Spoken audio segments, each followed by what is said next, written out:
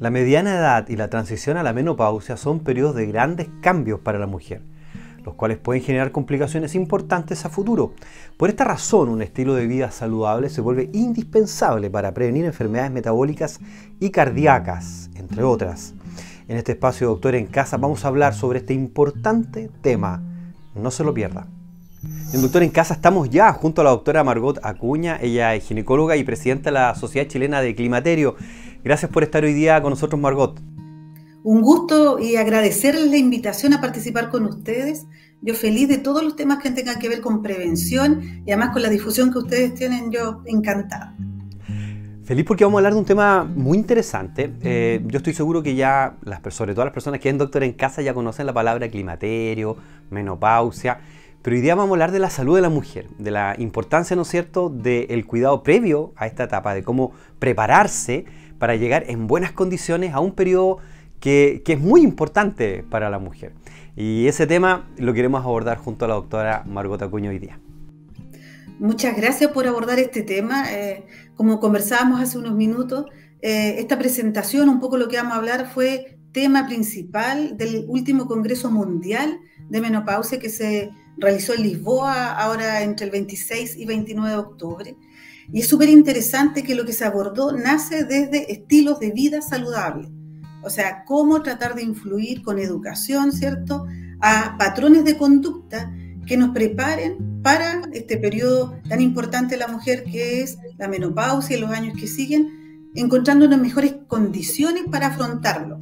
Y mejores condiciones implica alimentación, todo lo que tiene que ver con actividad física, todo lo que tiene que ver con descanso, un descanso reparatorio, esto de la higiene del sueño, súper importante. Lo social también es un tema importante, cómo nosotros hacemos distintas actividades que nos mantengan activos, con redes de apoyo y todos los otros temas que tienen que ver con evitar ciertas cosas que pueden ser perjudiciales para la salud.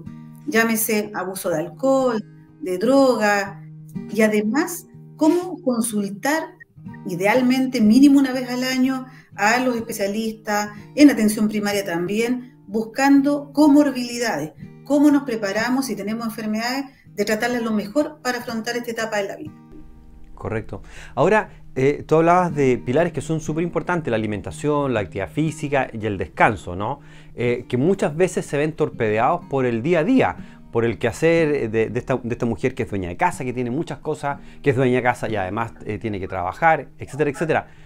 ¿Cómo, ¿Cómo, podemos llevar a la práctica eh, estos consejos? ¿Cuáles son las recomendaciones para la mujer que está viendo el programa hoy día y que dice, chuta, me encantaría, pero, pero ¿cómo, ¿cómo educamos en eso, no? Súper complejo porque una cosa es la teoría, ¿cierto? Y tú, como tú bien dices, ¿cómo lo llevamos a la práctica?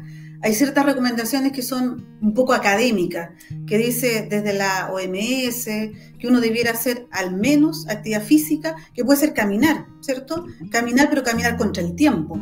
El mejor ejercicio que podemos hacer, que no requiere gimnasio, que no requiere horario fijo, es caminar, pero estamos pensando en caminar una a dos horas, por lo menos, dos a tres veces por semana, contra el tiempo. No vitrinear, efectivamente, ni vitrinear ni las actividades de la casa habituales no sirven para esto. Es caminar contra el tiempo y que esto me provoque cierto grado de cansancio, que queme calorías, ¿ya? Entonces el llamado es a tratar de darle importancia a esta actividad física que es caminar, que puede ser llegar antes al trabajo, no estacionarme, justo uno está, no sé, como chileno acostumbrado a estacionarse al lado de la puerta, ¿cierto? Claro, claro. O, claro, o en el mall, en el mall, a la entrada del mall y peleando el estacionamiento cuando están todos los otros niveles ocupados. Total, es así, somos, tenemos esa costumbre cultural. Esto es todo lo contrario, hacerlo un poco como la cultura japonesa, así como el que llega más temprano es el que se estaciona más tarde, ¿ya? Es un beneficio llegar más temprano, ocupar el estacionamiento más lejos para poder caminar. Entonces, pequeños cambios que tienen que ser como hábitos van a hacer que mi salud cardiovascular, el estado de peso, va a ser mejor. Evitar el sedentarismo, ese es como el, llamado súper importante. Ahora, el concepto de sedentarismo es como, para hacerlo fácil, todo aquello que yo pueda tratar de evitar estar sentada o sin moverme es lo que tengo que evitar. O sea, entre más actividades que me impliquen movimiento, voy a evitar el sedentarismo. Eso es lo que tengo que tratar de hacer en cuanto a actividad física, ¿ya? Y que no significa ir a un gimnasio ni pagar un, personal training, ni nada. Es una cuestión de actitud, así. Caminar, caminar, caminar. Fíjate que hay, algo reprimitivo que, que es parte de nuestro cerebro, insisto, muy primitivo, que es el tema del placer y el dolor. ¿No es cierto? Entonces, antiguamente eh, escapabas del dolor y te acercabas al placer y era como lo instintivo, digamos, y sigue siéndolo.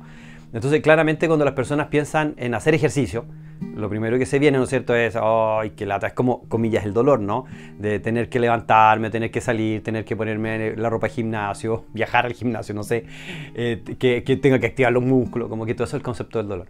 Eh, pero cuando uno va cambiando eso, ¿no es cierto?, y cambia ese tema de dolor que es inmediato, o sea, cambio el dolor por el placer de quedarme tranquilo, no hacer nada, y empiezas a pensar en el placer futuro, un poquito viendo lo que tenemos hoy día, o sea, esta mujer joven que está, que, está proyectándose a largo plazo, que quiere ver a sus hijos crecer, que quiere tener nietos y todo este tema, y quiere llegar bien a esa edad, es un poquito en esa instancia cambiar este concepto y decir, esto que hoy día como que es medio doloroso, me va a producir placer a la larga, por lo tanto lo hago hoy día pensando en ese placer que voy a tener, ¿no? Es como, es como resetear el cerebro un poquitito. Estoy totalmente de acuerdo. Ese es el, punto, digamos, resetearnos. Y eso en todo orden de cosas. De repente, cuando tú, si lo llamas la alimentación, pues Margot, el, tema de. Es un país que consume, consumimos muy pocas ensaladas, muy poca fibra. Y debiésemos consumir más fruta y más verdura. Pero para muchas personas dicen, no, pero es que. Pero si lo haces un hábito, ¿no es cierto? Y empiezas a ponerle una porción de verdura a tu alimento y lo haces como un hábito, al final se construye ese hábito. Y al final me ha pasado, fíjate Margot, en, Doctor en Caso lo hemos hablado con harta gente que nos escribe, que las personas que siguen esa recomendación después ya la incorporan. Entonces, entonces empezamos a educar para eso, para generar esos hábitos, ¿no? Claro, yo mira, me imagino esta etapa de mujer de mediana edad, que es la mujer sobre 40 años.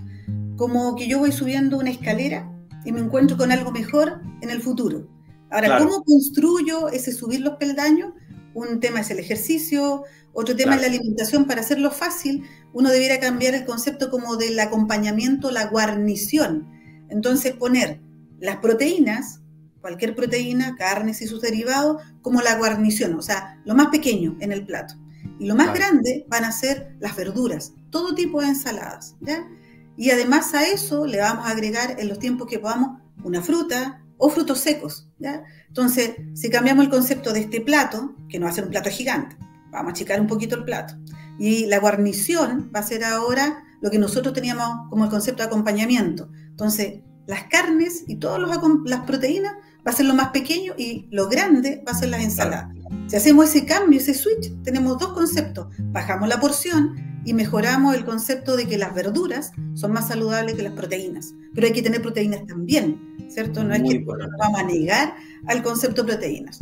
Y en los ratos libres en vez de pensar en eso rico que el chocolate y todas esas cosas, la fruta, el yogur, frutos secos. Incorporar esas cosas van a hacer que mis peldaños hacia un futuro mejor los alcancemos en mejores condiciones. Y lo otro que no quiero dejar de lado es este concepto del sueño reparador. Sí, el descanso. Sí. El descanso.